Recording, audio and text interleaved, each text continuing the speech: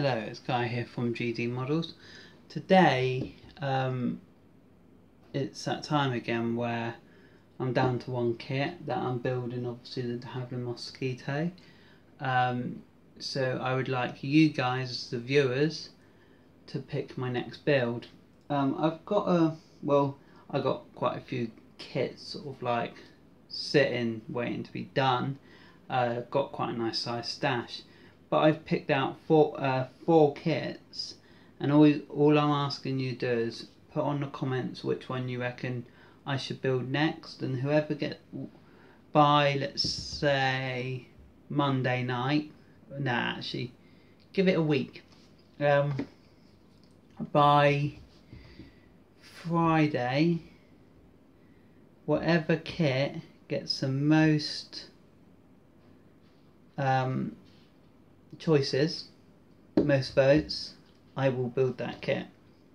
Right, so basically we have, as I said before, the first one, it's quite a long one so I have to show you the box on its side, is this beauty here. She is the, obviously everyone knows, the RMS Titanic, the uh, in 1 to 350 scale the sort of limited edition, deluxe edition, which comes with photo etch, um, like a few bits of photo etch. Um, she this ship is about the same size as a box, so she's about three foot long.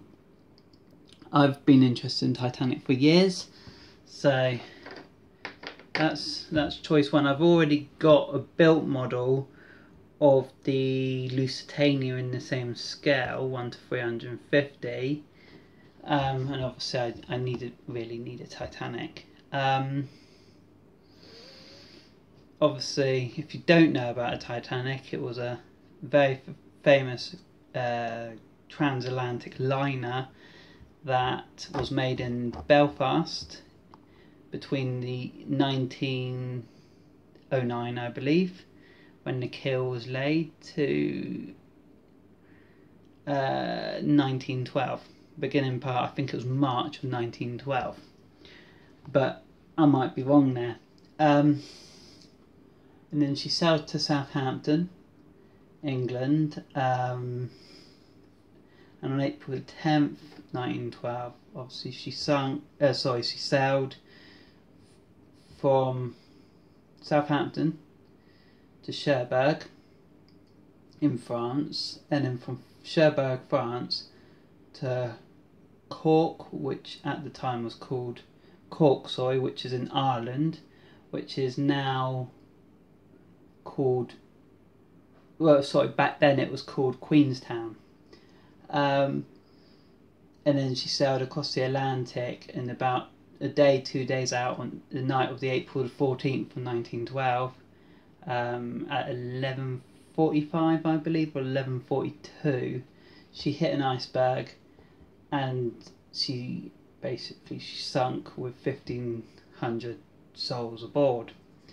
Um, and the wreck was discovered in the 80s I believe about 85 but I'm not 100% sure on that. And obviously everyone's seen the film with Leonardo DiCaprio and Kate Winslet. So that's a bit about that kit.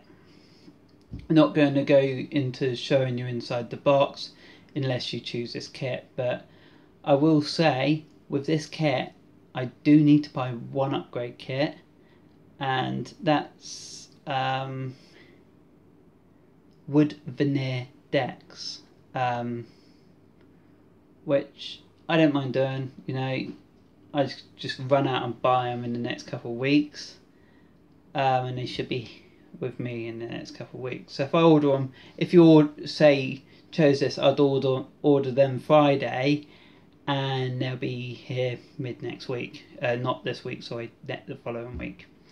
Um, so that's choice one, the Fable liner, the Titanic, in one to 350 scale, so nice size. Um, the next one is something a little bit more, well, a little bit more modern an aircraft, obviously, we have got Rev- Revell's 1 to 72 scale Concorde British Airways. Um, this thing is big. It is just under three foot long. Um, wingspan is just over a foot.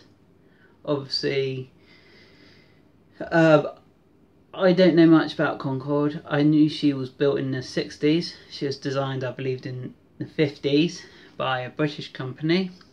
Um, I think it was BAE that made her um, at a cost of some ridiculous fat money. Um, they made, I believe, 20 of them between England and France, and basically Boeing, uh, a lot of countries, sorry, pet, bought Concorde did orders for Concorde. But then when Boeing brought out their 747, which could carry a lot more people, it basically put a stop to Concorde's success pretty much straight away. Um, and it was then just used.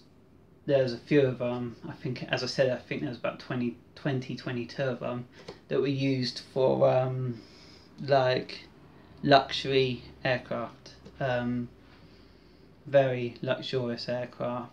Uh, that basically flew around the world, the rich and famous basically, because it could get you from A to B very quickly, um, faster than any other uh, passenger aircraft. Repeat, passenger aircraft obviously there is military aircraft out there that do fast are faster than Concorde. So this thing obviously is a one to seventy two scale. She's big, as I said, she's just under three foot.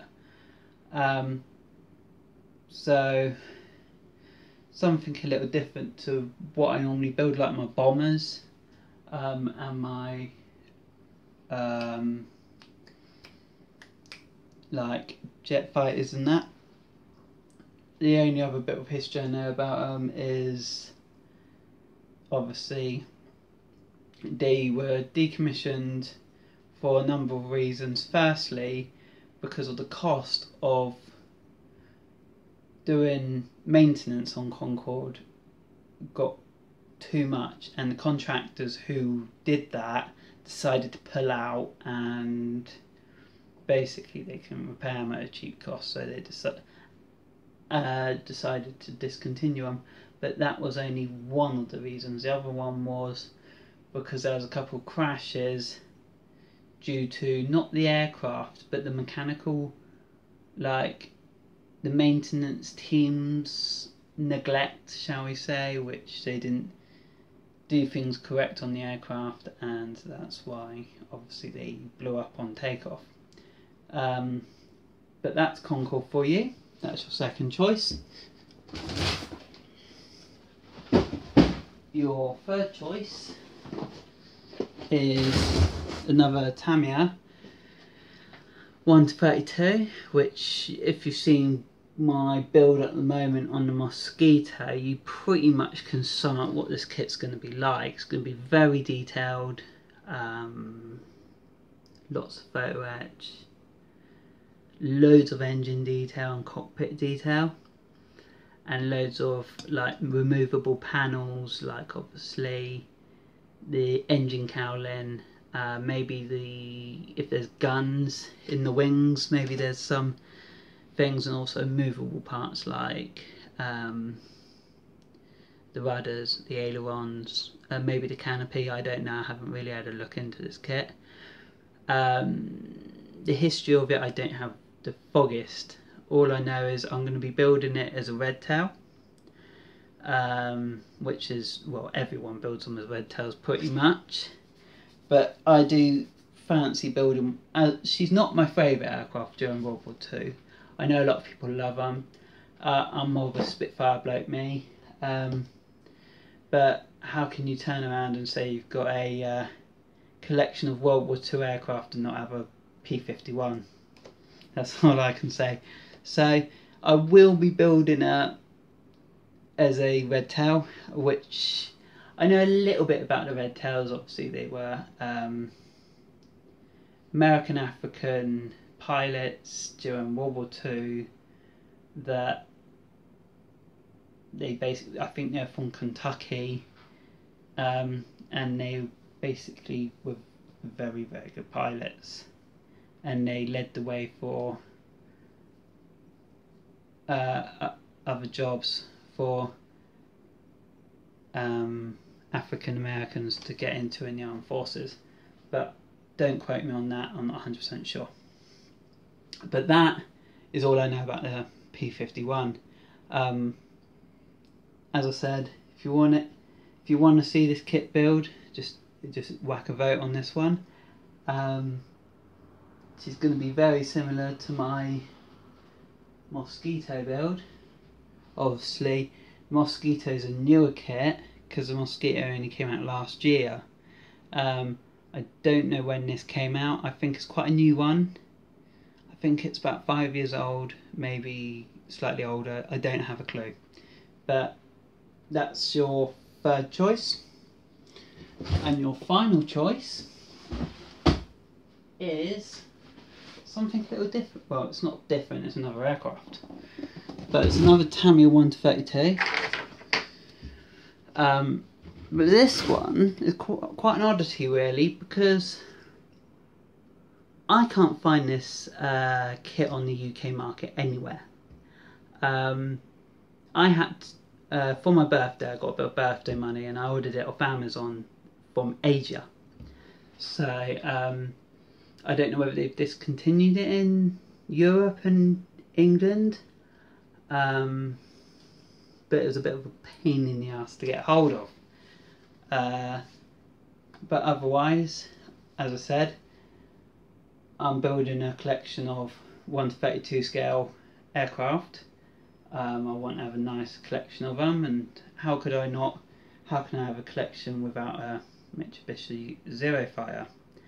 Um, I don't know much about the Zero Fighter. I know at the time, which would be 1941, they were one of the most advanced aircraft of their time. Um, quite to other countries a lot of countries' surprise. Um, they were very agile. Um, obviously, the the build I'll be doing is the one on the front cover with the yellow uh, stripes on the back, which I've already looked at what it is. It's the lead plane of the second attack wave that hit Pearl Harbor on the morning of eight, uh, December the 7th, 1941. Um, and she was launched from the aircraft carrier Akagi, which was obviously the flag carrier of that battle uh, for the Japanese. Um, so obviously she's I think she's a little older, this cat. She's not in such a big box there's than um, like the Mustang or the Corsair or the Mozzie.